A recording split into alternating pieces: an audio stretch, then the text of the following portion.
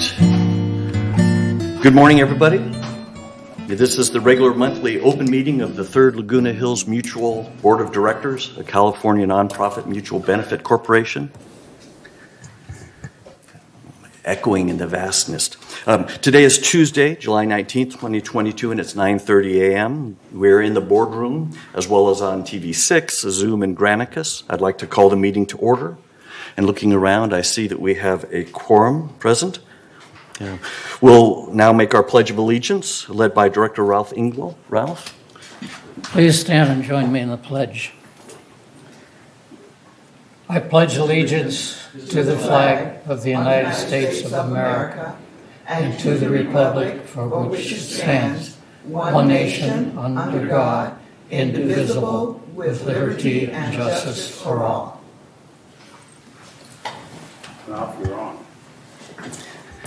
Ralph, you're on. Thank you, Ralph. All right, I'd like to acknowledge the third members who are present here in the boardroom, as well as those that are watching on TV and uh, via Zoom and Granicus. And I'd also like to acknowledge any media that may be present in the room or watching. It's now time to approve the agenda. Can I get a motion to approve today's agenda? Donna moves. Second. And uh, Annie seconds. Does anyone have any changes they'd like to make to today's agenda? Looking around, I see none. I would like to make a, a change and move 11D out of the consent calendar. That's the updated committee assignments, and make it item 13B under new business. Um, there's just a, a couple changes that need to be made there. Anybody have any issues with making that change? All right, any other changes? Did you say 13B?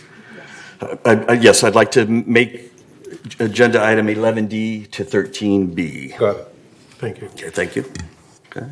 Any issues with that change? Any other changes? Jules, you're back. Any issues with the agenda? All right. I will, with no objections, uh, the agenda is considered approved by consent. Let's now look to approve the meeting minutes for five different meetings. Let's address each of them separately. Uh,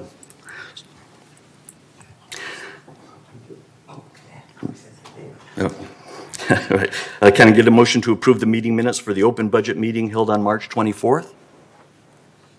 Annie moves.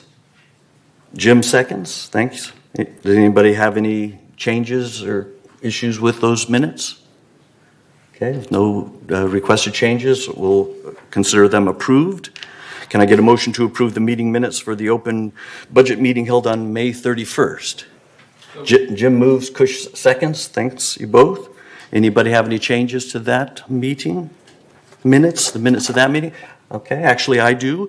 Um, The very top um, of page one, it says that the date of that meeting was Monday, May 31st. Actually, that was Tuesday, May 31st. So if that change could be made, that would be all that's necessary. All right, other than that change, anybody have any issues with those minutes? All right, hearing none, we'll consider them approved by consent. Can I get a motion to approve the meeting minutes for the open budget meeting held on June 2nd? Jim moves, Donna seconds. All right, any issues with those minutes? All right, hearing none, we'll consider them approved. Um, Three down, two to go. Can I get a motion to approve minutes for the board meeting, last board meeting held on June 20th? Uh, Ira moves. Kush seconds. Anybody have any changes that they'd like to mention? I see, see none. I do. Minor, minor change on the bottom of page 14 of 24. Um, th- there's a, uh, the very last paragraph, if you will, above item B, it says, hearing no changes or objections, the motion was called to vote and passed. Uh, Nine directors Zalon and Bhada opposed. So- So Kush's name is misspelled. Okay. Thank you. Okay, but that's the only issue I saw. Anything else? All right. With that change, we'll approve that, uh, consider that approved. And finally, can I get a motion to approve the minutes for the agenda prep meeting on July 1st? Chris moves and Jim seconds. Thank you. Any issues, suggested changes to those meeting minutes? All right, we consider those approved. Thank you all. All right. We're now at agenda item six, uh, report of the chair. I do have a few things to say. Um, Starting with, it might not be apparent, but uh, the third board is currently operating with 10 board members rather than the normal 11, and that's because Director Craig Wayne resigned from the board at the end of June. Craig was near the end of his three-year term that was due to end in October. Uh, The board has several options uh, regarding filling an open board director position, uh, and one of those options is to not replace the board director if their exit from the board is within 100 days of the next election. And since Craig's resignation was within 100 days of the next election, that's the option that this board chose. Um, And mainly, we made that decision given the focus that the board is uh, putting onto the budget. We thought it would be a distraction to try to bring somebody in for a very short-term, uh, two or three-month position. So um, that's what we've done. Just wanted to let you know that. Speaking of the board, there are a total of four board director uh, terms coming to an end this October.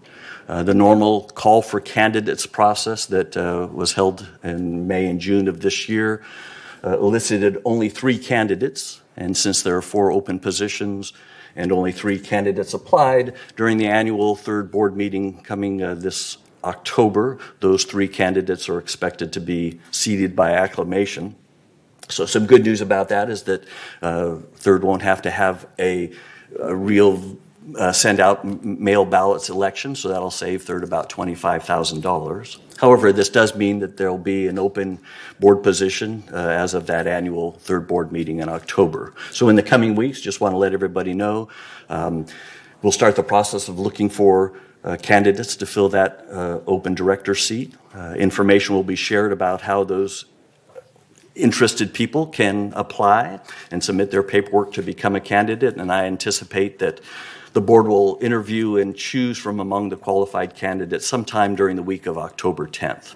So if you're out there, if you have ideas, uh, have some time, and uh, you want to help improve your community, please volunteer to join the board to help set policy, help um, identify funding decisions, and help improve things for your neighbors.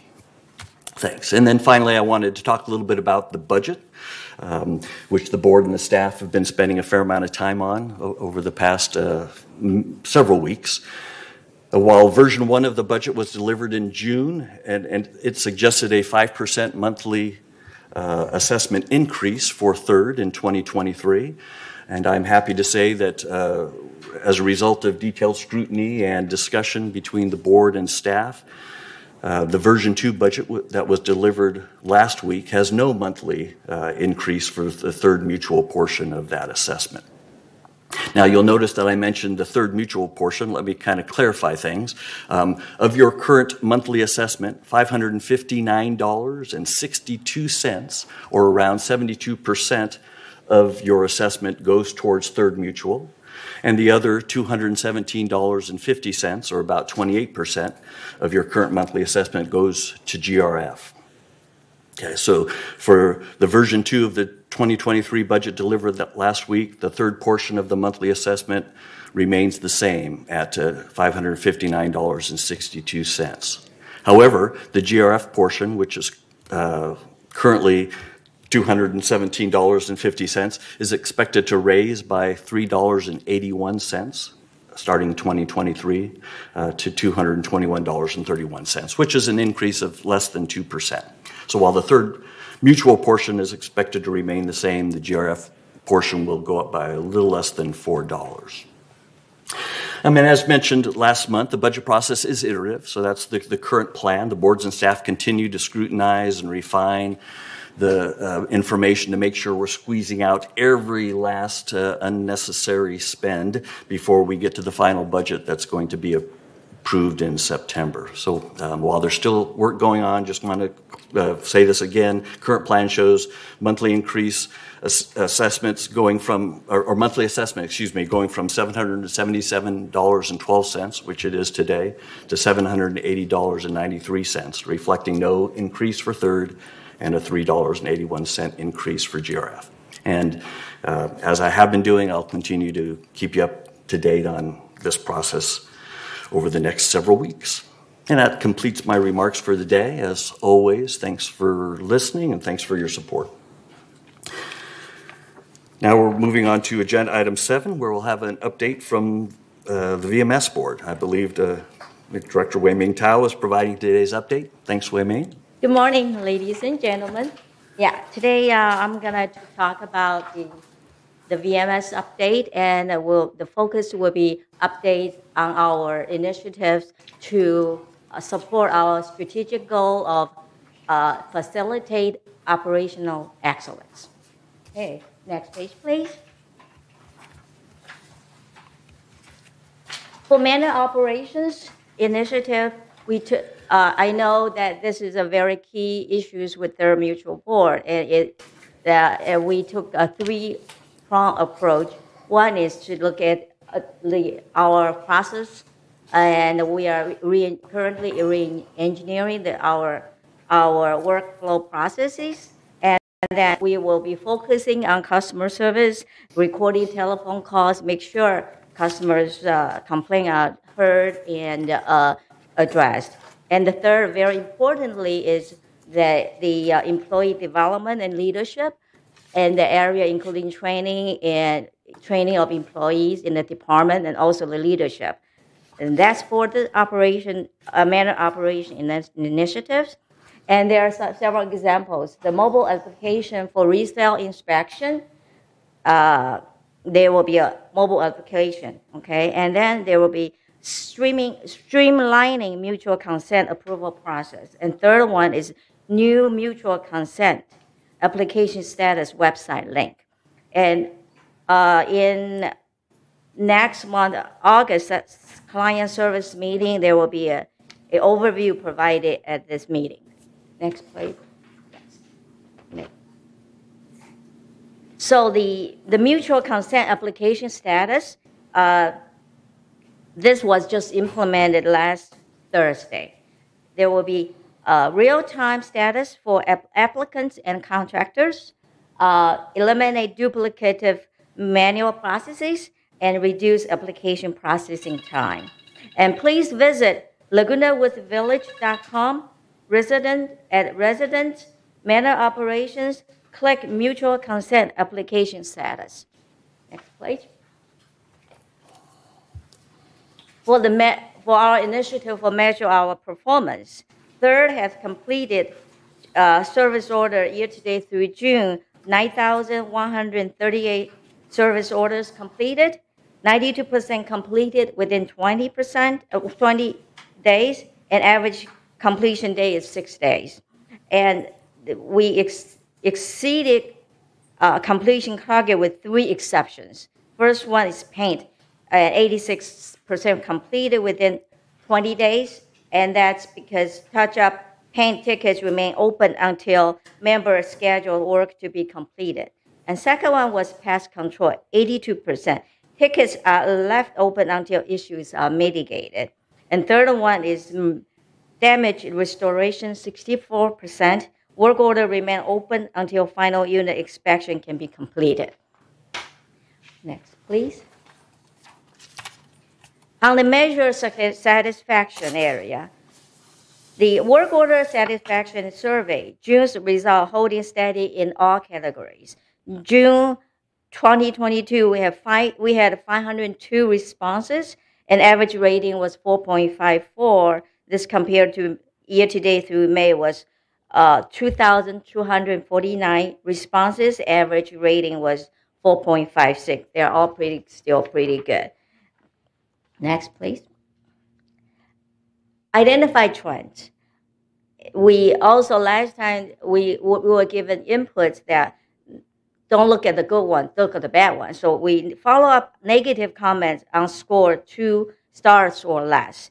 And we found out the key reason was lack of understanding of pest control treatment method and processes because it takes time to to to get that like the bait box it takes time to be effective so uh, so we are going to take action to initiate community, community educational outreach regarding rodent, pest, animal control processes, coyotes, and bees. So it, yeah, we'll educate people how long to wait to, to make sure it is, uh, the bait box are effective. Uh, next, please. The, in the area of financial processes, uh, in the accounting area, we move forward one week month-end closing timeline. This will allow more time for review and analysis prior to distribution. This had begun in May 2022, last month. Accounts payable, we used you you use AX for systematic processing of invoices. Before, we emailed the invoice to work centers and enter AX upon coded invoice receipt, so it's pretty manual. Now we are entering invoice right into the AX system and, and systematically route files to work center, and this will improve the tracking of invoices and regular expense accrual. And purchasing area, annual contract. Before our annual contract, we had no term limit, and uh, as long as the price re- re- remained the same. Now the new policy would be we will have a three-year renewal uh, limit that after three years will go out for for the bid for a competitive bid. In the PO versus contract tracked by purchasing division, before we one contract will have sev- several PO issue. The purchasing department only will be tracking POs, but not by total contract. And purchasing now start tracking total PO and also the contract. And this is pretty manual. Uh, hopefully, the ERP system will be automatically tracking this. Okay. Next. The budget process. We made several improvements in that area too. We added version 1.5, providing board member path to zero change basic assessment, and highlighted management effort to revise budgets. We had version A, B, C, stressing uh, the for advocacy for residents. And we presented budget process overview at GVA meeting. We added vacancy factor for first time, meaning that either, even though we are looking for a certain number of employees, we know there are certain number of turnovers, so there will be, you know, budget during the turnover time will be, but budget uh, uh, availability, budget uh, amount, so that we use that factor, so that we can be really more close to the act, what actually going to happen, and uh, provide the year-end projection for me, mutual reserve account, so we have better understanding what or whether we are at the year end with this new budget, our year end, we have enough reserve for it. And we compiling binder containing agendas and presentation organized by Virgin. In the employee devel- development area, uh, including the training, 20, uh, during 2023 budget process, HR director discussed training objectives with department heads for inclusion in departmental budget. And by September 1, it, we will identify, implement one meaningful professional development opportunity per department for current employees. And for fall, fall of 2022, we will launch in-house management training initiatives. In the uh, KPI reporting, KPI stand for Key Performance Indicator. These are the key indicators for the top management to make sure taking the pulse of the operation. And we will report monthly on key front-facing. We are reporting monthly on key front-facing services currently, and that including in the community services, resale package processing times, uh, maintenance area, maintenance area, oh, no, resident services, telephone hold time, counter wait times, and maintenance service order closure times, and resident service and maintenance, the customer satisfaction. We, we are currently in review of total complete uh, KPI measurements, and uh, also so that, and we are, once it's finished, we are hoping it will be co- co-related with the ERP system. So the, currently it's a pretty manual uh, process. So by when we have the ERP system implemented, all the KPI will be automatically, hopefully, will be automatically generated. I forgot to mention we also implementing the, the manor alteration measures. This is all I have. I, we really VMS really appreciate all the input. These are a lot of inputs from from you guys and residents. So we continue to seeking uh, operation, uh, seeking opportunity to improve our operation. And I really glad I see we really the biggest improvement I see is now we have a team team spirit culture, and uh, every we used to have silos, and now I see uh, our employees are excellent. They work together, they jump in, and this is the biggest area in strategic uh, planning is the cultural change. And we I've seen the end, the light of end of the time, tunnel, and I have to thank Siobhan to put the team together, working hard. Thank you. Thanks, thanks. I have a question. Thanks, Wei Ming. Yes, um, are there any questions from board members for Wei Ming? Donna? You scooted out of. Yes, you did. yeah, just one question. Back on slide number seven, when you talked about financial processes, you mentioned that the, in accounting, uh, the month end close timeline was moved forward one week, but you didn't indicate how close to the actual end of the month that is. So, you know, it could be, if we didn't know, it could be three months later. You know, so, so how close is it to the actual Yeah. end of the month? Actually, yeah. The, you know, I my background from from the finance. We when I was working, our our goal and our actual was three day close. Okay, three day means if it's June thirtieth by July third working days, you will be closed. And here, I, when I first got here, I was just appalled. It was uh, like a month or two months. that's closed. why I was Right. asking. And uh, so that's one thing that I was pushing to. I mean, you, you need to close it fast, that then you can have time to analyze. So I think I'm. Don't quote me, but I think we we are still at a three weeks closing, three to four weeks closing cycle, and uh, now I think we move ahead for one week. One of the areas that we are stressing is so that we will because before we were just reporting, we have no time to analyze. We want to improve our uh, finance and analytical skill. So point out where are the problem, where is opportunity for improvement. So that with closing and move up, we have time to analyze it. Great. Okay, thank you very much, and thank you for that Yes, report. yes. It was great. Looks like Ira also has a question. Thanks. Um, Back on uh, slide two, when you're trying to enhance efficiency, I was curious if uh, you've been tracking uh, calls into resident services, web-initiated versus phone call-initiated uh, requests, and is one rising, one falling, they're both staying the same? Are you trying to push people uh, to use the web more, to be more efficient? I can answer that for you. Uh, we started tracking that upon your request, I believe, two months ago, so we have that data. Right now, it's static, but we do need to initiate the effort, as you suggest, to try to push more people towards using the website rather than telephone calls. But at least we're starting to track the data so we know what we have now and can initiate that. Thank you. Great, thank you. Thanks. All right. Any other questions for Wei Ming? All right. Thank you, Thank Wei you. Ming. Lots going on. Very much. Thank you. All right. We'll now move on to agenda item eight, which is our open forum. At this time, members may address the Board of Directors regarding items within the jurisdiction of this Board of Directors and not on the agenda. The board reserves the right to limit the total time allotted for open forum to 30 minutes. Each member is asked to speak for no more than three minutes. A member may speak only once during the forum, and speakers may not give their time to other people. Members not in the boardroom can also share their comments by joining this meeting via Zoom or by emailing your comments to meeting at vmsinc.org to have your message read during today's open forum, should time permit.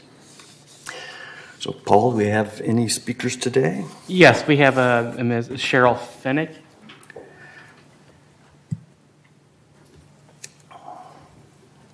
Thank you. I don't know if it's your jurisdiction or not, or not, but you'll let me know. So my, what I'd like to talk about is a, is a safe to, a solution to a safety habit having to do with underground parking in the three-story buildings. So I live in cul-de-sac 202. So I, I turn into the cul-de-sac, and immediately I'm crossing entry and exit from underground parking on both sides. And then I continue my way back and get to my home. And there's a lot of traffic on that one road because there's a lot of housing back there. Um, I have had, I don't know how many near collisions uh, with people coming out of the underground parking onto the road that will take us back to Mariposa. The interesting thing is that there's a stop sign going into the underground parking, but there isn't one coming out of the parking. Kind of doesn't make any sense to me. And unfortunately, we have, you know, we run into um, drivers that may not be paying attention uh, too many times. Um, so you need good brakes, you need good peripheral vision, and you have to be very concerned that someone's going to run right out on you. And um, so I've been able to, at least uh, being very aware of it, prevent a lot of accidents. I don't know how to go about doing it, but I think there's a need. Now, interesting enough, a lot of the underground parking doesn't necessarily have the same configuration that the cul-de-sac 202 has. And I would think that a lot of them do not. So we're not talking about printing um, stop signs to like 2,000 buildings or something. This is not, the numbers are not big. And I don't know what goes on in any other phase, but I'm just talking about phase two or gate five and six. So for your consideration, and if there's something I need to do, fill out a form or go to somebody else, just let me know and I'll do it. Thanks for listening. Thanks, Ms. Vanek. Ms. Fennick, what is your unit, uh, your building number? My building is 2350. 2350. Zero, which means that I'm not on that line. I have to make a, one of the left turns and go down and get to my house. Well, But it's, I should have come with the numbers of the buildings. I'm sorry, I didn't do that. Um, but it's right off of cul-de-sac 202. It's right there. okay, yeah. We'll Thanks. check it. Yeah, Thank you. All right. Paul, any others? Uh, There are no other speakers at this time. Okay, uh, no emails either, all right? Okay. Anybody have any responses to Ms. Fennick? Before before I do? Uh, Ralph? I will take a look at that. I think, uh, Kusha, you're interested in that too. Uh, I think we both need to go out there, and take a look at that and anything else that's similar to it. Sounds like it's worth looking into. Yeah, yeah, yeah, I I agree. So we'll, you- we'll, we'll be looking at it and getting back with you on our results. Thanks for bringing it up, appreciate it. We're now on to agenda item 10, the CEO report. Siobhan? Thank you, Honorable President, members of the board. I have three announcements that I'd like to share this morning. First of all, a reminder that VMS is seeking part-time employees to fill various positions throughout the community. This includes a new position that we're calling a community center attendant, which will allow us to open up the building after hours for things such as table tennis, access to the computer rooms, and so forth. We're also going to use this position in the fitness centers and perhaps in community centers to extend hours of those facilities as well. So we're recruiting for part-time community center attendants, recreation leaders, bus drivers, and gate ambassadors. And just a reminder as to how one can apply for a job.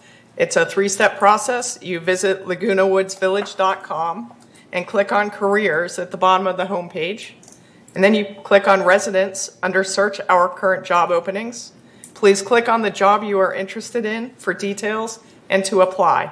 So it's a very straightforward process if you are, again, interested in part-time employment. We've also had some questions recently about household hazardous waste materials and how residents may get rid of things such as paint and household cleaners and so forth. The City of Laguna Woods, through its contractor, WM Curbside, will collect materials that residents assemble from outside of their homes. To arrange for a household hazardous waste collection, please call WM Curbside at 800 449 7587. In terms of materials that will be picked up at no cost to the resident, this includes paint products, household cleaners, fluorescent tubes and compact fluorescent lamps, and miscellaneous residential materials such as batteries, propane tanks, and so forth. Not accepted would be ammunition, appliances, biological waste, liquid mercury, medication, and tires. And if residents need to know what programs are available to them, they can visit the thecityoflagunawoods.org and visit the waste and recycling page for comprehensive information about waste programs, frequently asked questions, and more. And lastly, from our Recreation and Special Events Department, they've announced the Summer Barbecue Buffet, which will take place on Monday, August 22nd at Clubhouse 5 at 5 p.m. Tickets are available starting this Thursday at the Clubhouse 5 office. The cost is $25. The meal is catered by Martinez, and the menu features barbecued beef, oven fried chicken, delicious sides, and apple pie. So just wanted to get the word out for that as well. And that concludes my updates this morning. Thank you. Thanks, I Siobhan. que- I have a question. Any questions for Siobhan? Annie? Thank you. Yes, uh, Siobhan, regarding the, um, the, the announcement you made about the staff and the positions available to keep the community center open additional hours. So do you have any idea of how, how many hours the community center would be, remain open? And do we have staff to accommodate that now? Yes, we're in the hiring process right now. Some employees have been hired. They are currently being trained. We're about to answer the question about what will the extended hours look like. Um, we should be making an announcement later this week.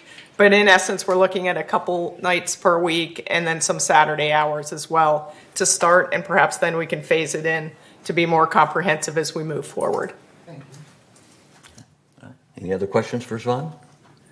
All right, I had one for- for you, Siobhan, and that is um, when the board requests and approves changes to meeting minutes, where are those meeting minutes, uh, those updated meeting minutes posted? They are posted on the website, but I can defer to Michaela if she has anything further for you. They are posted on the website. So, so, so the website is vast. Uh, so, um, so for instance, I uh, went back to last month's board meeting and we approved some minutes. And within that board meeting, if you look under the agenda, it has links to the minutes. Correct. And those minutes were not updated there. Um, is that where they should be? That is where they should Okay. be. Paul Then- and then I are still working on updating them. miss. I'll just let you- you know. Okay. Okay, thank But that's where they should be. All right, thanks. No, no problem. Okay, any other questions? All right. Uh, Agenda item 11, consent calendar. Uh, So all matters listed under the consent calendar are recommended for action by committees and will be enacted by the board in one motion.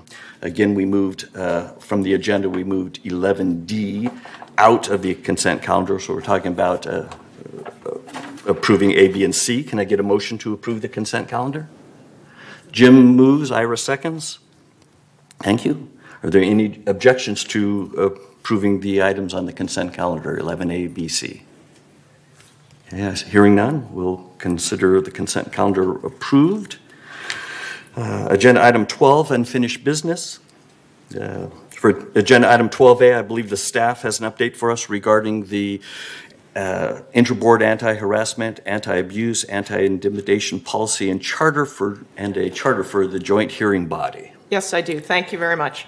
Um, If you'll remember, this board introduced the policy at its last meeting, as did Third Mutual and GRF. They, everyone introduced it at the June meetings.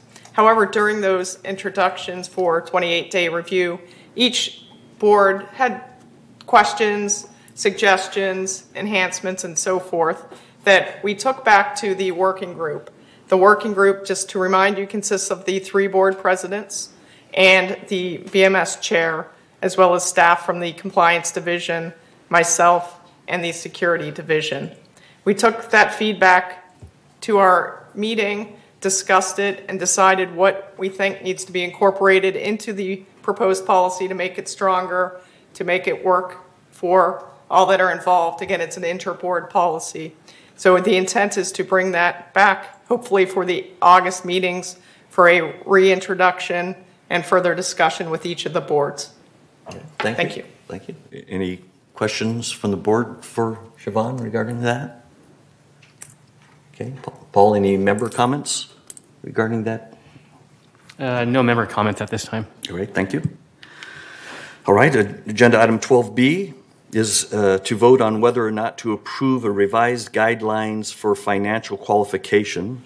Uh, Last month, the board voted to put this out for 28-day member review and comment Um, So today we'll be voting on whether or not to finally approve these revised guidelines. So first I'll ask Chris to read the resolution.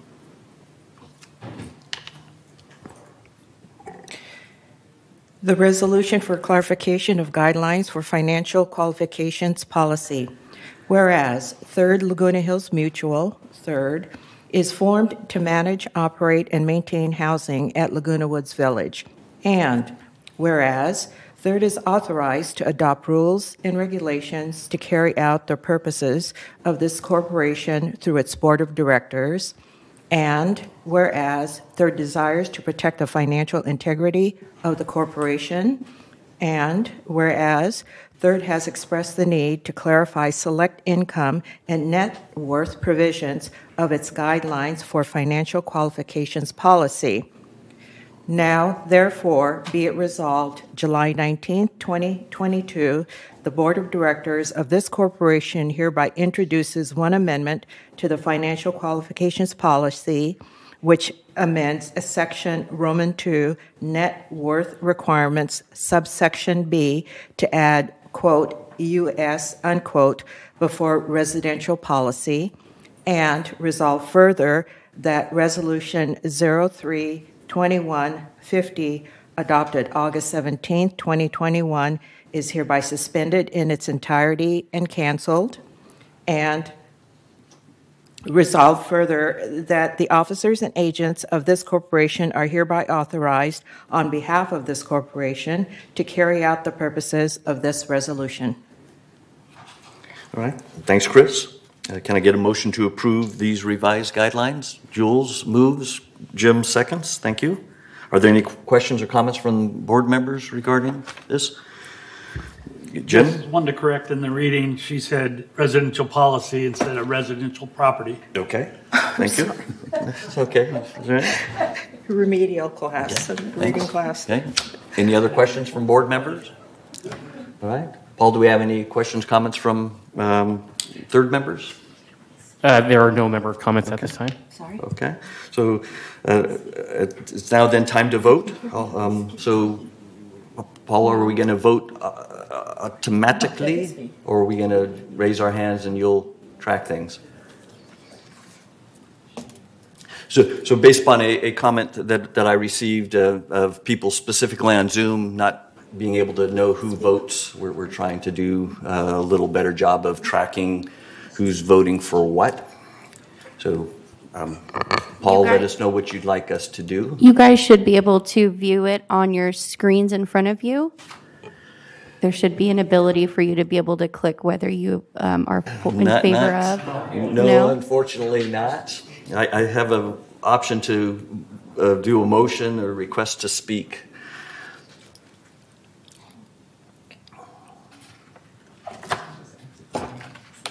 Hmm? Yeah, I think they will do that if they can't get this to work.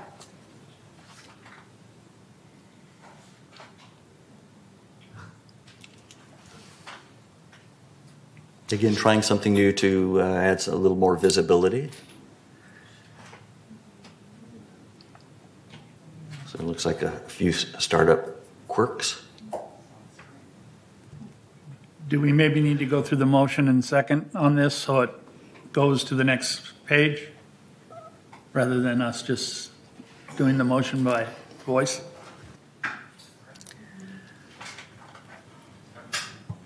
Okay, so we might have to do it verbally just because we're experiencing some technical difficulties. We did try it before the meeting and it was working perfectly fine. So for And- some reason, there is some issues It, it going just on. popped up. It just Okay. popped up now. Okay, there we go. so we we can go. give it a try. Thank you. All right. So now time to vote automatically. See if it works. Uh, Director Lewis, can I get your vote, please? Oh, Excuse me. Yes. And Director Rane-Szostak? The mover and second is wrong on here, isn't it? Yes, it is. It is wrong, yeah. But that's okay. That we're just mainly for the moment trying to get the counts wrong. Right. Director Szostak, y- your, your vote? Are you seeing it? Donna, he needs your, Donna, he needs your verbal vote. Oh, yes.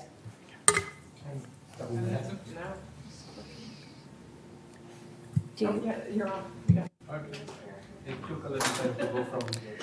Okay, okay. Somebody's missing. Uh, President uh, Laws. Okay, uh, uh, yes. I can see the yes uh, highlighted on my screen, so I was assuming it worked. Uh, Okay. Yeah. Okay, so it looks like the um, motion passes, 10 yeses, zero noes, zero abstains. So thank you. We're moving on to agenda item 12C, and this is to vote on whether or not to approve the updated guidelines for the distribution of printed materials, specifically allowing door hangers to be included as an acceptable way of distributing printed information. The board voted last month to put this out for 28-day member review and comment. Um, So today we'll be voting on whether or not to finally approve these updated guidelines. And Chris, would you please read us this resolution too? Okay. Uh, Distribution of printed materials policy. Whereas the Resident Policy and Compliance Committee has recommended revising the distributing, posting printed materials rules to fairly and reasonable address placement of materials within third, and whereas the board recognized the need to amend the rules to align with the changing needs of the community, now, therefore, be it resolved July 19, 2022, that the Board of Directors of this corporation hereby approves the amended distributing hyphen posting printed materials rules as attached to the official minutes of this meeting, and resolve further the distributing hyphen posting printed material rules will now be known as the distribution of printed materials policy and resolve further that resolution 03-07-59 adopted June 19, 2007 is hereby superseded in its entirety and canceled and resolve further that the officers and agents of this corporation are hereby authorized on behalf of the corporation to carry out the purpose of this resolution. Uh, There's a typo on now, therefore, the Okay. there before, after. Okay. Thank you. All right, can I get a motion to uh, approve these, the the motion, uh, uh, approve these guidelines for 28-day review? A- Annie moves? And Donna seconds, thank you. Any questions, comments from members of the board? And we've kind of heard this one before.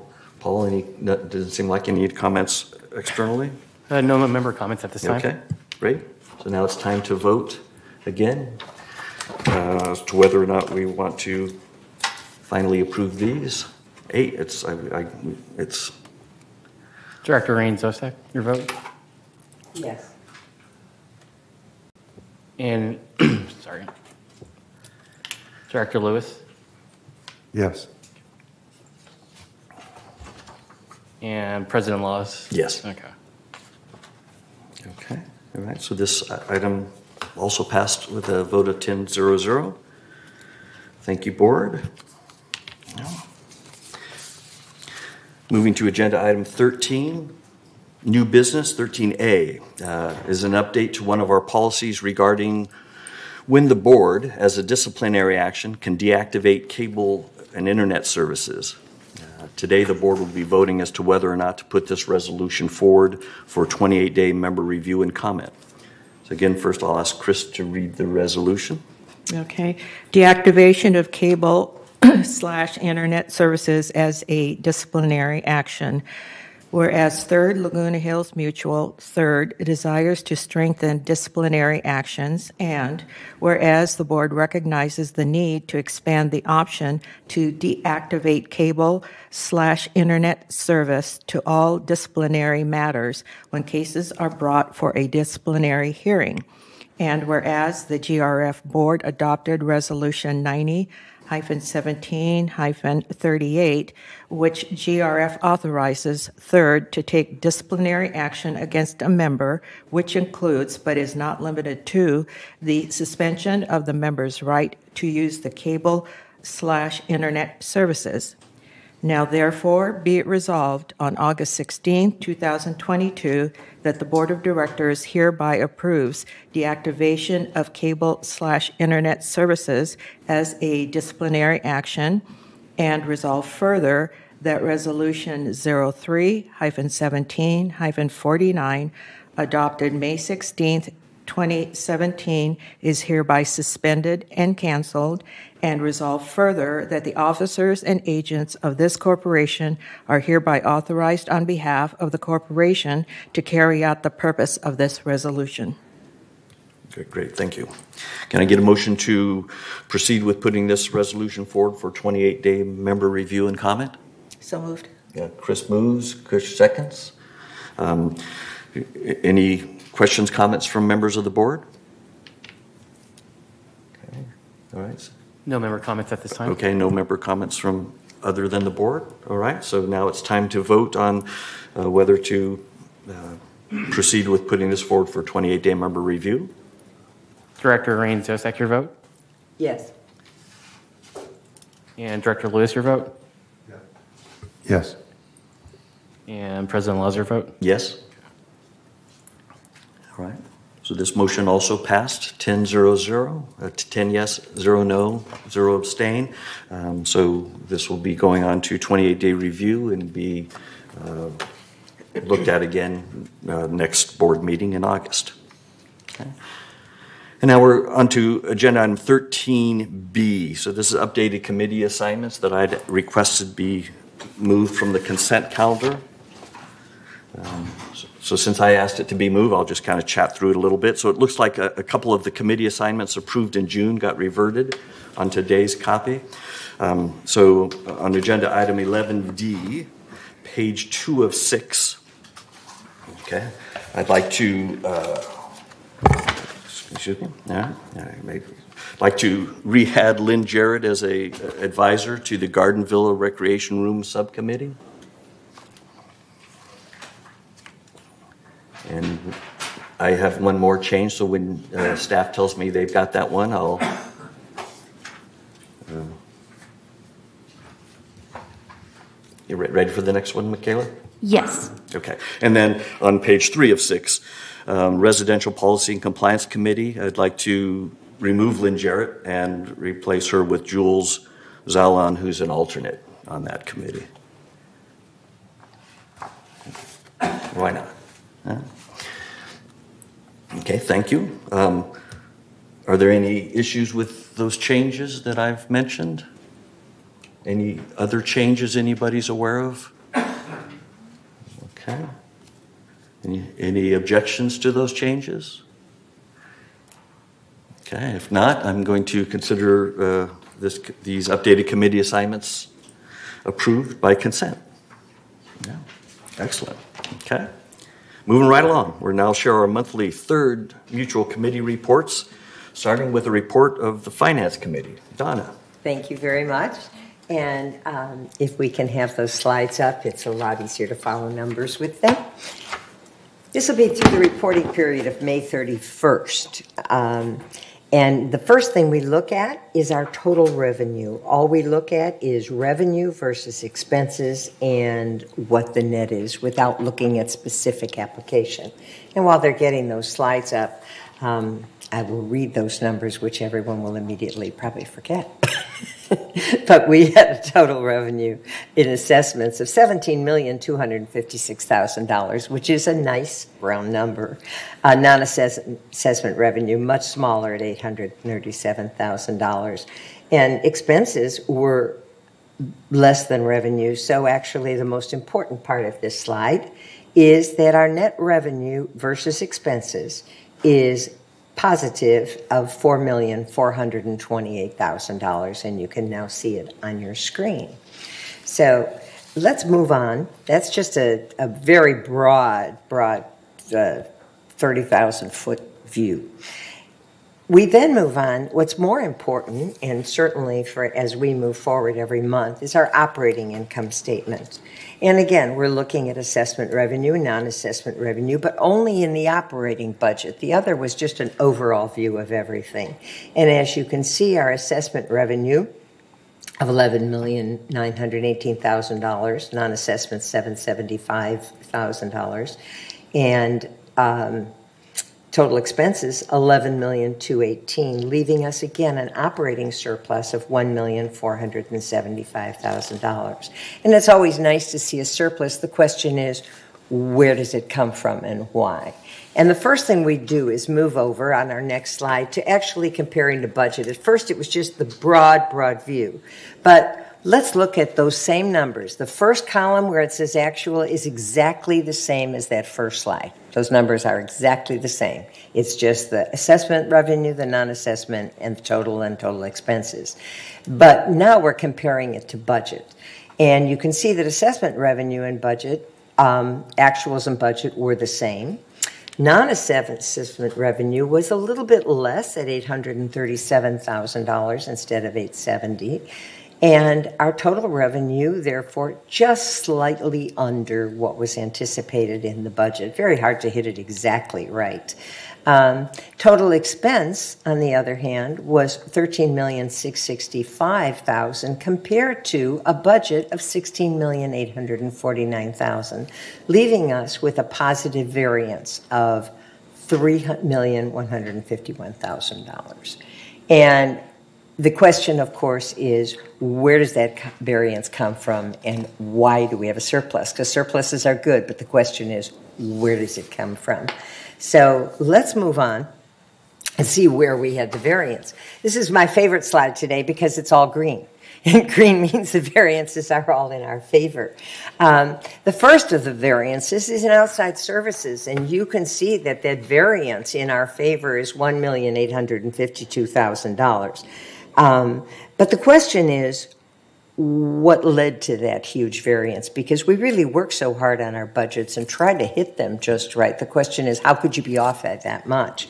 And the and the and the answer is that surplus had a lot to do with program activity not taking place, not taking place because of supply chain problems, not taking place because of staffing problems, all of the reasons that we've been hearing all year long that really led to work not getting done. So we love to see the positive variance.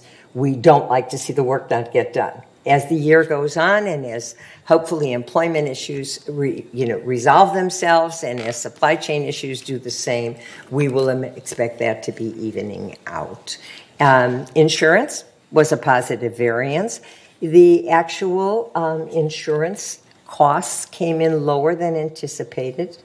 We are required by our CC&Rs to get full insurance value. That hasn't been possible. We come about to the same amount, whatever the, we get the maximum the market will allow. And this time that came in at $612,000 less than budgeted. Always better in that case, in that particular area, to budget for higher and wind up having it be lower.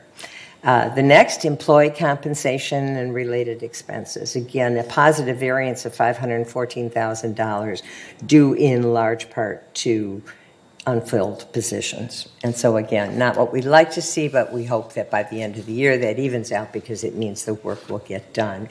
And last, legal fees, a positive variance of $162,000 due to actually changes in the way we interact with the attorney, with, with channeling information and being a lot more um, I don't know, just to, it, just being more focused when we actually connect with our attorney to keep those bills a little bit lower.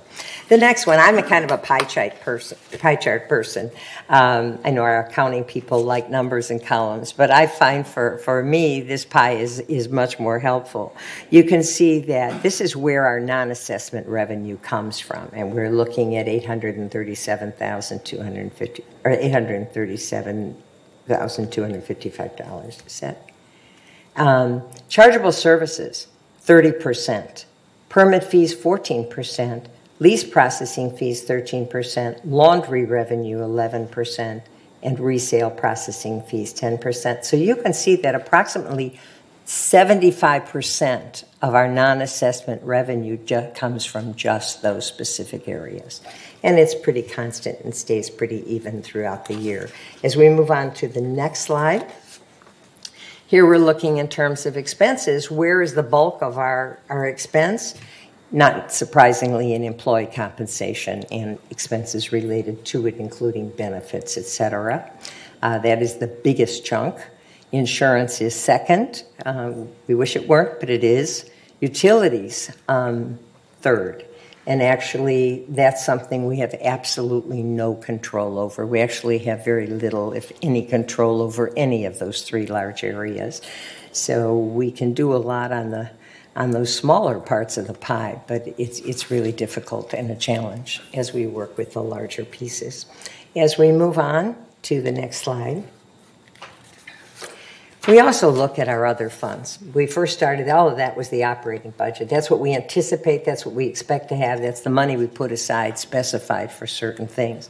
But our non operating fund balances, we also have to look at. And first of all, what, I, what I'd like you to do is look from the top, the beginning balances, to the current balances, because that in the end is the most important. And you can see that our replacement funds, have increased. These are in thousands, so it's 19,069,000 started at the beginning of the year, and by May 31st, it was up to $21,325,000. So definitely growing. Very slight increase in the Garden Villa Fund from 104,000 down to 123,000. Disaster Fund also going up a bit from um, 5,442,000 to 6,171. And unappropriated expenditures, which is our contingency fund. That's that category for we don't know where it's going to the expense is going to come from, but we know there will be some unexpected expenses. And you can see that the unappropriated expenditures fund didn't grow by a whole lot, but it also is in more favorable than it was at the beginning of the year.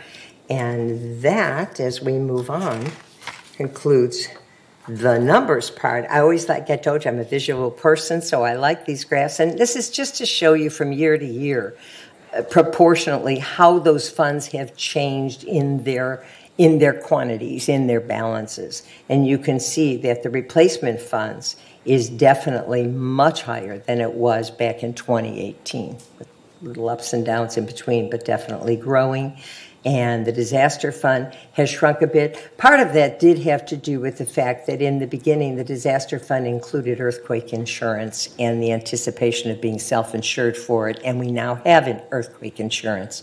So we can tolerate that fund being a little lower, but it's nice to see it growing again anyway. Uh, unappropriated expenditures, that stays pretty steady. You know, that's kind of, that's that little chunk that we put aside for the unexpected expenses. And you can hardly see it, but across the top, there's a very, very thin light line for Garden Villa Rec Room. Um, and as you saw in the other chart, that is growing slightly as well. So everything is looking very good. If we move on to the next slide and the last, pretty much the last one, that's our resale history. And you can see that other than in February when there was a drop, resales have been pretty steady throughout. And although in, in 2020 they were much lower because of COVID, there was a recovery in 21 and it seems to be pretty consistent this year. What is particularly interesting is the average resale price, which in 2020 was 427,276 as a resale price average. And in 2022, so far, it is increased considerably to 519,809. We do have to keep in mind, and we're going to work with, with the folks who have these numbers to actually get a median as well as the average, because the average is taking everything and, and it can be skewed by some very high numbers. And we've had some very large sales in, in a few units that really throws that number off. So to get a better idea of the real average value of our property, we're going to see what that median number looks like and hopefully have that for you next month. And with that, that concludes the Finance Committee report. Um, you already heard from the president that we have been having budget meetings, and that has taken up a great deal of energy. On the 15th, last Friday, we had a very large, that was our presentation of, of version two of the budget, where, as you heard, we do not anticipate for third any change at all. And we thank everybody who's participated in that process because it's a lot of work. Great, great. Thank you, Donna. It looks like Annie has a Mhm. question.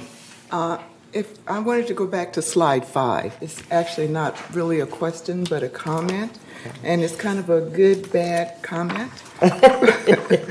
On slide five, if, if, um, Which are the one that had the charge of the non-assessment of revenues? revenues, yes. um, I'll find it on. Slide five. It's a pie chart. Yes, a pie you. chart, which is really, in, when I say good news, bad news, because it has to do with our non-assessment revenue. And that little purple, light purple, late fees, 5%, which is really good, which says that we're not making a lot of money from residents paying late fees, which is good thing because residents are paying their assessments on time. So that's, yeah, thank you for news. noticing that. That is something that we understand in comparison to other HOAs, especially through the COVID time and inflationary times now, that our members are making their payments and they're paying their assessments. And so that's very good. And we're not having the late fee revenues because this is non assessment revenue, but a late fee is a late fee. and so it falls in there. Um, and that is, that is exceptional and, and very good news. Good, Thank you both. Any other questions for Donna? Since I've been open up? All right. The Architectural Controls and Standards Committee, Jim, you got an update for us? Okay, we met on June 27th, and in that meeting, I reemphasized the goal to reduce member wait time for variance approvals, staff preparation time, cost, and establishing many over-the-counter approvals, which will fast-track future variance applications. Uh, Mr. Mejia also commented on some of the processes that he's going to go through to solve that problem and meet those goals. Uh, During our meeting, we had a- three variance requests approved. Uh, One was exclusive use common area that was uh, decorative column and partial removal of the trellis. And basically exclus- exclusive use common area that's not visible to other members that can be removed is now, because we approved this one, it can now be considered an over-the-counter variance, which will speed up processing time. We had another situation in reference to raising ceilings and soffits, which are within the cocoon of a person's residence. And along with that, we approved that. And again, this type of variance now can be considered an over-the-counter variance. With getting more and more over-the-counter variances, this reduces time. We've already reduced time by the committee hearing and approving without it having to go to the board. So with this, if by chance the over-the-counter is denied, it can be appealed to the committee. If it's denied, denied by the committee, it can be appealed to the board. But it doesn't necessi- necessitate this if it's approved over-the-counter, which will cut weeks off of the time frame for getting a variance. Uh, Another thing that was brought up in our meeting was Director Zollin commented on the importance of members to protect themselves. And what he suggested was basically a one-page contract between the member and their contractor. Nothing to do with the HOA, but that this form might be supplied uh, in the packet that we give to contractors. And along with that, we wanted, staff was directed to begin compiling all the contractor rules for editing and eventual submission to the compliance committee and for legal review prior to submission to have an exclusive type packet that could be handed out rather than having to search through our web page to find out what all the rules are. So those are the goals, those are the things that we're trying to do. And hopefully we'll move forward, shorten the variance processing time. And then again, our next meeting will be on July 25th, which is next Monday. We encourage everybody to attend and participate. Great. Thanks, Jim. Um, Now the third Communication Committee, Annie? Uh, Thank you, President Laws. The Third Communications Committee met on uh, July 13th at 1:30, and it was a virtual um, meeting. Some of the items that we discussed. First of all, we disseminated the charter again since it had been a while since the committee met. We disseminated the charter to the new members to have a look at and uh, bring back any suggestions or changes if there are any for at our next meeting. The committee discussed had some discussion just regarding the actual purpose of the committee, and we even though we are we are more of a working group um, for third member Third Mutual Board to look at ways that we can communicate more effectively with our residents and how effective we are. We are, we are a working group. We don't have um, a budget. We don't have advisors. We just get together and look at how we're communicating and determine how best we can serve the needs of, of our community. Uh, there was some discussion regarding uh, just the assignments and who does what um, in terms of uh, TV6 and new resident orientation and um, writing articles for the Village Breeze. These are all the things that our directors participate in as well.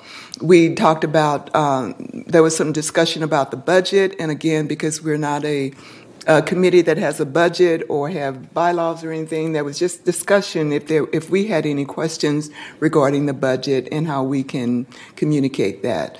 Um, the next meeting is scheduled for August 7th, August 2nd, I'm sorry, at 1:30 p.m., and probably will be a virtual meeting. Okay, thank you, Annie. Um, We'll move on to the Third Maintenance and Construction Committee. Ralph? Thank you, President Laws. Uh, The last third M and C meeting was held on July 7th. Mr. Gomez briefed us on how disputes regarding chargeable services have been handled recently in contrast to the method spelled out in our documents. After discussion, we decided to follow the procedures spelled out in the documents because that's the way it should be. And uh, specifically, this means presenting the dispute to a three-member subcommittee of the M&C committee for quicker resolution rather than wait for the next regular M&C meeting, which could be weeks away since we only meet every other month. Uh, we also had a discussion regarding removal of a planter in building 2369. It's a, that's a Garden Villa building uh, that had been previously the cause of a couple of water intrusion events in the same unit. Uh, although no other events have been report, reported in this or other buildings, uh, staff was to seek the opinions of our residents uh, regarding these planters. There was also a brief discussion of exterior, exterior let me try that again. Exterior elevated elements, that's in con- conjunction with the Senate Bill 326, and the impact on the budget in 2023 and 2024. The first inspection is required to be completed by January 1, 2025. Um, we also briefly mentioned uh, reevaluating the roofing systems on some of our buildings. Uh, considering spray polyethylene foam. And that report is not done yet, but hopefully will be soon available for us. Uh, the next meeting of third M&C committee is scheduled for September 12th. All right, Great, thanks, Ralph. And We'll move to the Parking and Golf Cart Subcommittee. Kush? Thank you. Uh, Parking and uh, Golf Cart uh, Committee there is nothing new to report today. Uh, the last meeting was on May 25th and was reported at the June meeting. Our next meeting is uh, July 27th, which is next week at 1.30 p.m. in the boardroom. Uh, our future meetings will be every other month on the fourth Wednesday, just in case people want to make a track of that. Thank you. Thanks, Kush. And, uh, and Ira, do you have any updates for us on the Garden Villa Rec Room Subcommittee? Uh, I can do that through uh, staff notes as, as I wasn't there, but uh, what was discussed was uh, the uh, rec room budget and reserves fund, and Donna had um, made mention in her report about uh, some of that, uh, the totals that they have, and moving forward. Uh, there'll be an increase in their monthly contribution specific to uh, their rec rooms by 25 cents a year for the next five years and to, to maintain uh, uh, these rec rooms. Uh, there was also discussion of There, I think there are three kitchens and bathrooms uh, scheduled for floor renovations uh, starting the middle of this month. And uh, a summary of uh, um, rec room expenditures as well as uh, um, a component list was explained to everyone there. And uh, carpeting colors um, was discussed. Uh, The next meeting uh, would be, uh, is to be announced, and generally this meeting is quarterly, so. Great. And we'll leave the floor with you to update us on the landscape committee. Okay. So in the third uh, landscape committee, um, we had uh, discussed more about water than anything else. And uh, a um, little bit of uh, tree trimming um, and, and so on was explained to some of the people here that were uh, in, present and uh, had, had questions.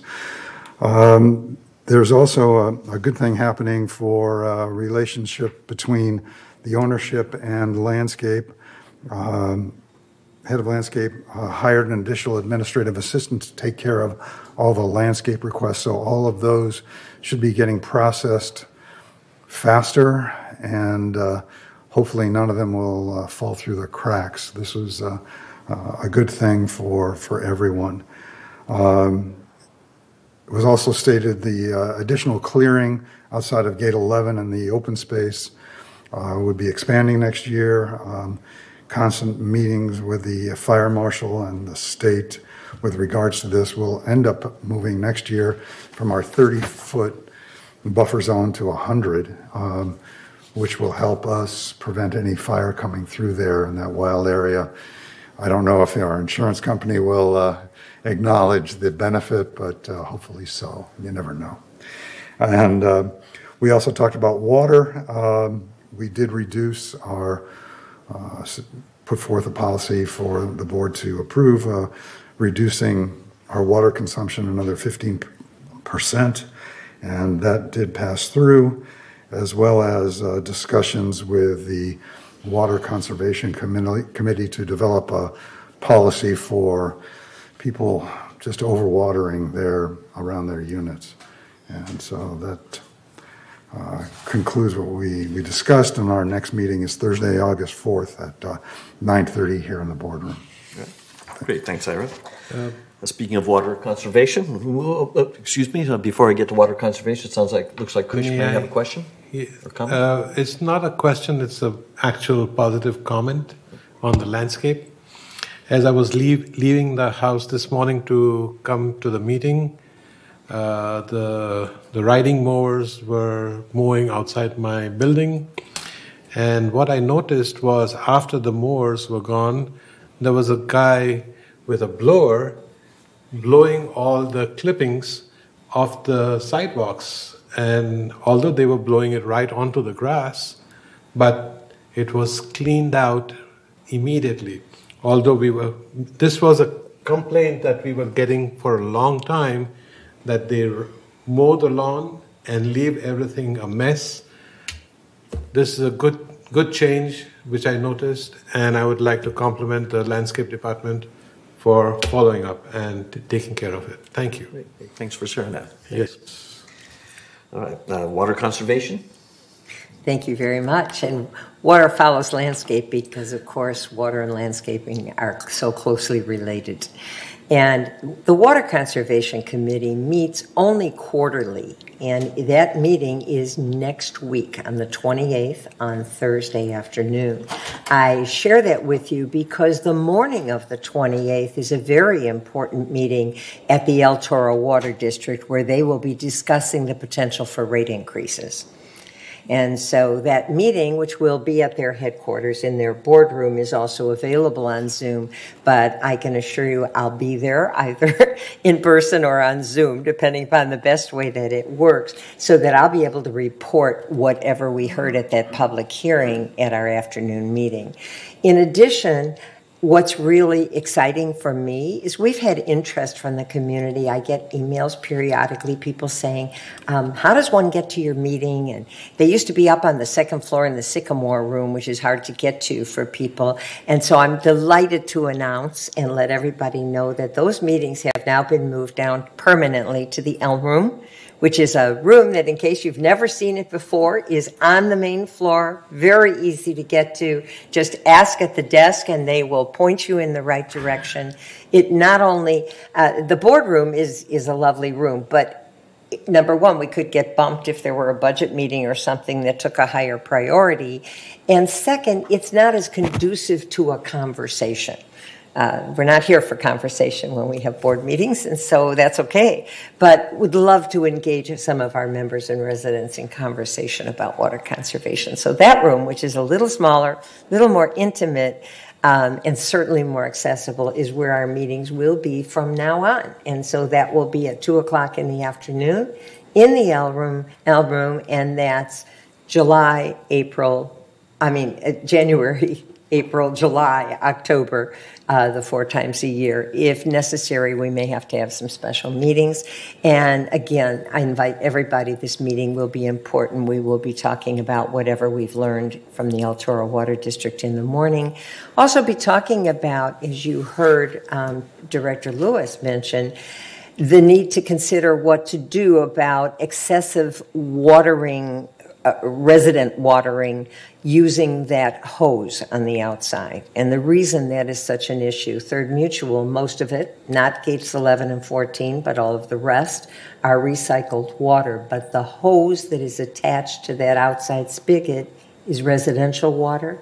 It's potable water. That's the water that is carried and paid for, you know, hundreds of miles to get here and it's the water that we are not getting very much of anymore. And so, given our limited or non existent storage down here, um, it's really important. So we're going to be talking about, you know, how do we deal with that? Do we get as strict as some of the places near Los Angeles where you can only outside water a couple days a week? You know, we so so we'd love your resident input for that. So please, we welcome you, and uh, of course, whatever happens at that meeting will be reported at the next board meeting. Thank you. Thanks, Don. I look forward to attending. Uh, And finally, we have the uh, Third Resident Policy and Compliance Committee. Uh, the- That committee last met on Tuesday, June 28th, where we discussed the overall compliance process to help ensure that the committee members, as well as any attending third board members, understood the basic processes that compliance follows. Uh, We also discussed and voted on updating the resolution regarding deactivating cable and internet service um, as a disciplinary action that we already discussed this morning. And the Resident Policy and Compliance Committee will next meet on Wednesday, July 27th at 9:30 here in the boardroom. And we plan to discuss several policies, including barbecue rules uh, and regulations and the social media policy. Uh, So hope to see you there. Um, And now we'll move on to agenda item 15, sharing our GRF monthly committee reports, starting with the report of the Community Activities Committee. Annie? Thank you, uh, President Laws. The Community Activities Committee met, um, uh, when did we meet? July 14th. Thank you. We met on uh, July 14th.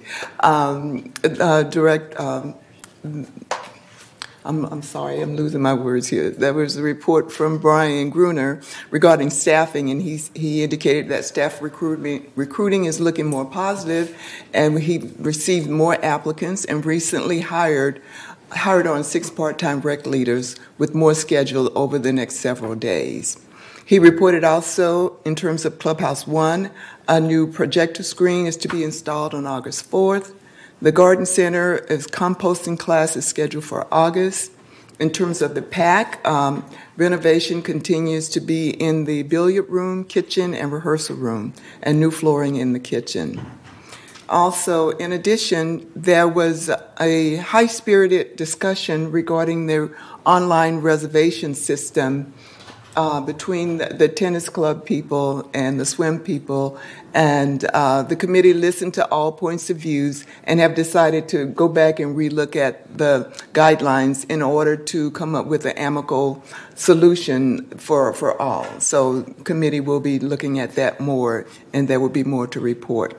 In addition, the upcoming events, uh, July 18th is movie, which is Belfast at the PAC, and that's at 2 p.m. On August 4th, there's a patio concert, Private Eye, Clubhouse 1 at 6:30 p.m. August 12th, Splash Pool Day at Pool 2 with uh, children and with grandchildren. August 15th, there's a Monday movie, House of Gucci, that's going to be at the PAC at 2 p.m. August 20th, Queen Nation, also at the PAC at 3 p.m. Uh, there's a monthly dinner at Clubhouse 5 in, on August 22nd, Clubhouse 5 at 5 p.m. August 27th, Saturday night dance at Clubhouse 5 at 5:30 p.m. August September 10th is Grandparent Fun Day at Clubhouse 5. September um, 17th, Ronstadt Re- Revival. That's at the PAC at 7 p.m. September 9th, movie West Side Story, also at the PAC. Outdoor concert, Clubhouse 2 at 4 p.m. And Saturday night dance at Clubhouse uh, 5 at 5.30 p.m. The next meeting for the Community Activities Committee will be August 11th at 1.30 p.m., boardroom and virtual. Thank you. Great, thanks. Sounds like a lot going on. Uh, All right, moving to the Equestrian Center Ad Hoc Committee. Kush?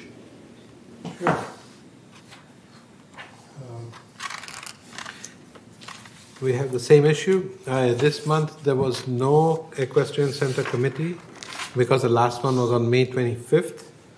The next one is on August 31st, uh, 2022 at 1 PM. Okay. Thank Thank you. you, thank you. Uh, GRF Finance Committee. Donna? Yes, thank you. GRF Finance Committee meets every other month. The last meeting was um, June 15th, and therefore the next meeting, official meeting, will be August 17th. But in between, GRF finance people, as well as all of the boards, have been very busy on budget processes. Last uh, Monday, there was a all boards meeting where everybody was there to hear. And GRF, it looks like they are not on their absolute final budget, but it looks like, as you heard uh, President Laws say at the beginning of the meeting, that the GRF portion of our monthly assessment will be $3.81. That's where it stands now. That isn't final, but it, they seem to have cut where they can cut. Um, so, and that's it. And again, as I mentioned, the next meeting, official meeting of the Finance Committee is August 17th at 1.30 in the boardroom, but finance things are going on, especially at this time of the year, all the time. Okay, thank you. Uh, Next, the GRF Landscape Committee. Ira, you have updates? Uh, yeah. um,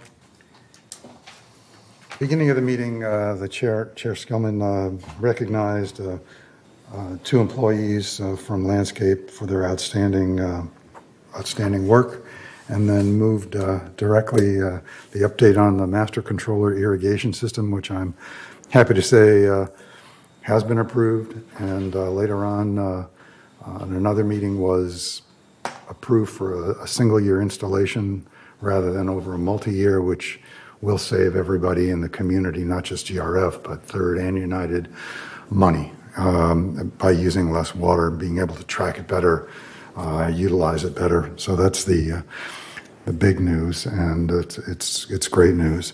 Um, uh, Kurt Wyman uh, discussed the uh, tree signs in the village, and uh, basically saying that we shouldn't replace a, a lot of the old signs are nailed to the tree, which is really a bad thing to do. You end up hurting the tree. It's like putting a nail in your arm. Um, so uh, um, the discussion was um, made to come up with some other, uh, other signage system that wasn't going to cost a fortune to do. But uh, so that was back to the committee to look at that. And uh, there were a few uh, tree maps available at the History Center and the Village Library brought up by uh, Chair Skillman. Um, So the, the other thing is that work at the creek is ongoing cleanup, um, which is just continual. It's more like uh, uh, painting the Golden Gate Bridge. You, once you finish, you just start at the other end and do it again. Uh, it's a never-ending process. And uh, um, Angel uh, De La Torres from the grounds maintenance uh, provided a, a short uh, PowerPoint presentation on um, daily insights of grounds maintenance. And um, that was about it. Okay. Thanks, Ira. Anything new with the GRF Maintenance and Construction Committee, Ralph? Yeah, we had a little bit. Uh, the last uh, meeting was held on June 8th, which I believe that information was shared during the last meeting of this board. Uh, however, there were a couple of special meetings uh, last month. We, one of the things we discussed was feasibility study for Building E, which had been performed by Wrangle Architects. They gave us two estimates for a 10,000 square foot building. One was for stick construction and one for modular construction. That's not trailer type units, but modular. Um, both of both studies were, ex, were ex, uh, result in excessively high cost estimates. And as a result, uh, further in-house study will be done regarding space requirements and optimum agency location and other cost-efficient attempts to uh, improve the situa- situation at Building E. Uh, there was also discussion briefly regarding electric auto charging stations. There's still quite a bit of separation between SCE and the village on this matter, including location and how many spaces uh, will be committed. They, they want 10, and sometimes we don't want to do that much. But there is an intent to arrange a face-to-face meeting with SCE to reach some kind of resolution. Um, Next meeting scheduled is August 10. Great, thanks. Um, Next, we'll move to the Clubhouse Facilities Renovation Ad Hoc Committee. John? We had a, uh, an open and a closed meeting. The open meeting was, uh, Clubhouse uh, Three was uh, discussed extensively, and uh, Clubhouse, uh, Clubhouse Three beautification, and uh, Guy West did, uh, made a, a presentation, and then the, um, the scope of work for that improvement was to be added, the, the decision was made to be added to the Clubhouse One uh, uh, award that was going to be discussed and considered at the closed meeting. And then there was further discussion on, on Clubhouse's uh, very uh, beautification. At the closed meeting, then Clubhouse One was awarded, uh, and uh, it, the um, scope of work for um, Clubhouse 3 uh, interior design uh, was added to that. And um, that's the, uh, that, that was the, that was the extent. Uh, the next meeting is to be determined. Okay, great, thanks, John. Um, Moving on to the Media and Communications Committee. Annie? Thank you, uh, President Laws. The GRF Media and Communications Committee met on July 18th at 1:30 p.m. It was a hybrid meeting. Eileen Paulin submitted a um, report which included engagement efforts in June through iContact, direct email services, through which flyers, newsletters, and other tools are used to disseminate news and information. She reported that the average open and click rate illustrate an interest and engagement in the content of all the information that's disseminated. She reported that the workflow continues to be managed through uh, the online project management system Trello, which tracks work performed by staff and freelance graphic artists, including deadline contents, artwork, editing, fact checking, graphic design, and distribution. Trello tracked 72 projects in May in addition, Media and Communication entered 171 email addresses into iContact and posted 94 items on the website in June. She reported that the, CE, the Office of the CEO and the Department of Media and Communication worked together to handle an average of 24 phone calls and 20 emails each day, totaling more than 500 calls and 400 emails per month. Uh, She reported that the Village YouTube subscriber count is going up monthly. Viewership on board meetings has gone up in the past months. Uh, Meeting communication staff attended um, the July GVA meeting in which staff demonstrated to the residents how to navigate through the online website, which was very well received. It was a short meeting, and so um, with lots of discussion, the next Media and Communication Committee meeting is scheduled for August 15th at 1:30 p.m. in the boardroom and is virtual. Thank you. Great, thanks, Annie. Um, Kush, uh, what's new with the Mobility and Vehicles Committee? Nothing much. Um, uh, The same, same issue. All my meetings are every other month. Okay. So we did not meet again in this last month. Um, So nothing new to report. Our next meeting is August 3rd, 2022 at 1:30 PM in the boardroom. Okay. Yeah. All right. You'll be busy next month. then. I know. All right, uh, Security and Access, uh, Community Access Committee. I think, Annie, you're updating us here. Yes, thank you, President Laws. I just have a few things to report, uh, I'm just going to read from the staff report. Um, uh, One of the items that's on the staff report, uh, staff recommends adding four universal bicycle signs that say bicycles, bicycles are prohibited signage to the main entrance point at Aliso Creek Park with a supplemental appropriation of $740 to be funded from the equipment fund. Another staff report, um, sorry about that.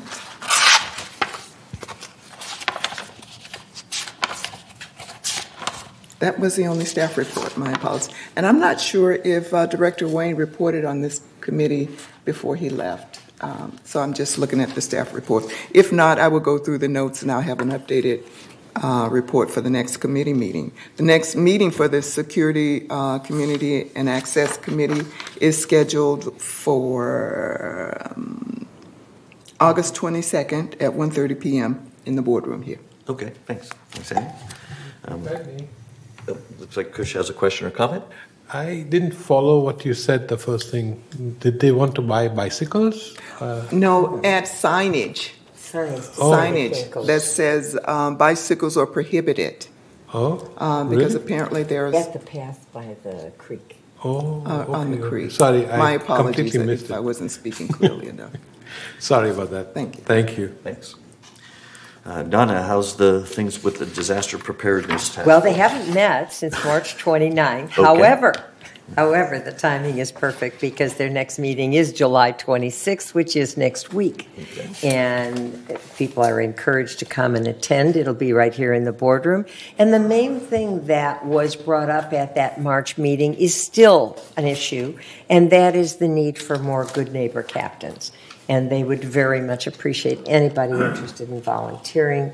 Please let them know their office is right here on the main floor, just kind of outside the boardroom and around the corner. Uh, so again, that next meeting, July 26, 9:30, right here in the boardroom. Okay. All right. Laguna Woods Village traffic hearings. John, you have an update for us? The uh, meeting was held on uh, June 15th. Uh, There were three traffic violations that were addressed. Uh, The first two, one was a parking violation, and the second was a uh, stop sign violation. Uh, The violators were found guilty. The third was a uh, a parking violation that was discussed uh, extensively. Uh, There are a number of uh, cul-de-sacs, uh, most of them are, that I know of, are around uh, Clubhouse 5, where the parking outside the garage door uh, distance is uh, limited, and when a car parks there, it blocks the sidewalk. And um, so the, the committee voted uh, three to two to find the uh, defendant not guilty because that, that issue has to be addressed. And um, the next meeting is, was scheduled for tomorrow, but it has, uh, there there was an email that said it had been canceled, and I haven't heard otherwise. Okay, great, thank you. Uh, GRF Strategic Planning Committee, Ira? Uh, The meeting, uh, the committee has not met since uh, May 2nd, so there's nothing, really nothing new to report. Uh, Just, I can give you a quick overview. What did happen on the previous meeting is uh, CEO Foster uh, provided an overview of uh, the three-year goals from uh, the VMS strategic planning meeting from March, and uh, we are in the process of waiting for questionnaires to see how uh, the committee itself should move forward, what would be the most important thing to do. And that's where it stands, and uh, the next meeting will be announced hopefully soon. Thank you. Uh, next, we have the Information Technology Advisory Committee, and that committee, known as ITAC, last met on Friday, July 8th. Uh, this committee is currently providing executive oversight to the ERP project. Uh, during the month of June, uh, there were a lot of requirements workshops where staff reviewed all of the financial functionality and identified current issues and requirements for the new ERP system. Now in July, workshops are underway to review the functionality of the new ERP system and confirm that it meets all of staff's requirements, and if not, discuss potential approaches to how those requirements can be met. And the ITAC will next meet this coming Friday, July 22nd.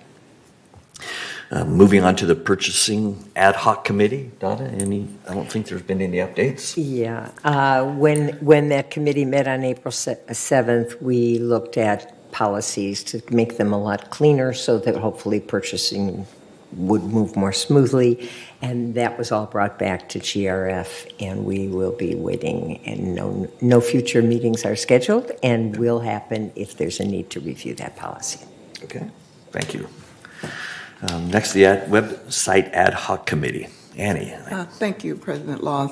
The website ad hoc committee met on July 6th, and uh, it would, had been a long time since we met, and the meeting that we actually had scheduled conflicted with another meeting, and so um, some of the members were not able to attend. So we, we were able to review the charter. Uh, we reviewed the minutes from the last commit, last meeting, uh, one of the things that we talked about was the purpose. The purpose of the website ad hoc committee is to engage the expertise of internet and technology experts among residents and staff to develop a scope of work and a uh, RFP and to select the most qualified vendors to execute an improved website for Laguna Woods Village. We talked about that. Um, in addition to reviewing the charter. We just picked out a few of the things that we uh, thought were important for, for us to look at and some of the critical areas that require significant attention for this committee is um, including but not limited to site navigation, search, site content and documents, document management, single documents, repository for website, Granicus, and uh, shares. It also needs to have a, a resident portal for signing in, a, a, place for posting resolutions and minutes, past, present, and active, a club page, a contact form. The new website must cooperate with the community's governing structure as well as Granicus, our team up calendar, and resident porters. It was also reported that a survey had been sent out to key VMS staff that are actually using the website to get their input as to any additional feedback that they may have for the website so that as we move forward and submit an RFP, we will have all this additional information. Uh, and even though several members were not able to attend the meeting, the minutes for the meeting and, and the, um, all the other documents were sent to the mem- committee members so that they could provide feedback, so that our next meeting, we'll be able to put together the RFP and send it out to the vendors. The uh, next meeting is to be determined based on the feedback that we get from the rest of the, the VMS departments that utilize the computer and also from the board members. And that's the end of my report. Okay, thanks, Annie. All right, finally, we have the Insurance Ad Hoc Committee. Now, this committee is made up of representatives from GRF, United, and third boards, and last met on Friday. Sorry. Uh, I, I, have Friday, June 17th, but I'm not sure that's correct. Uh, but the purpose of the committee is to work together to identify approaches to reduce the cost of property insurance within the village.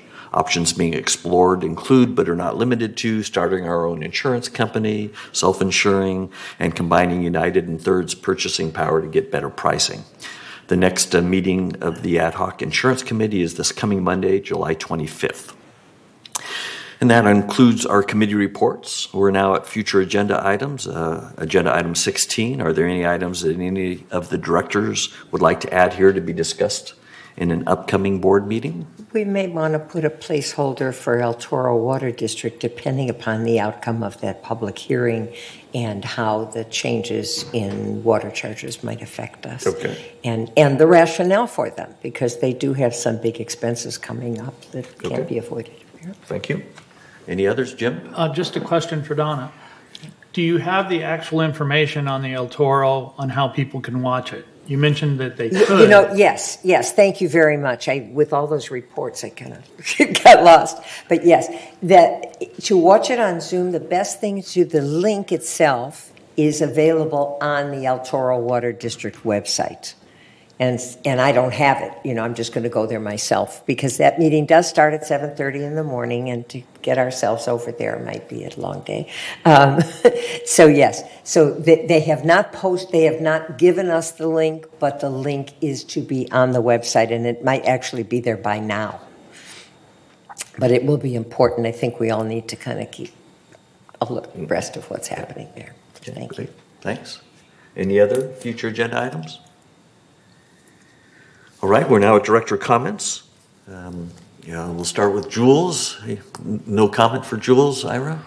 No additional. Okay, Jim? No further comment. All right, John? No, no comment, thank you. Thanks. Ralph? No comment. Thank you. Annie? Yes, I have one uh, comment, and that is to to all the residents of Laguna Woods. With the weather being so hot, it's really important that we stay hydrated and um, watch when you're crossing streets because the sun shines out really brightly, and sometimes people are driving really fast around those curbs. So, in addition to staying hydrated, stay safe as you walk along the streets. Thank you. Thank you, Anne.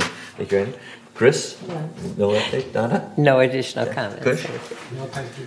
All right. Uh, Siobhan, anything? Okay. Paul? Okay. And the uh, only thing I have is just a reminder, our next uh, monthly town hall is scheduled for next Wednesday, July 27th, from 3 to 5 in Clubhouse 2.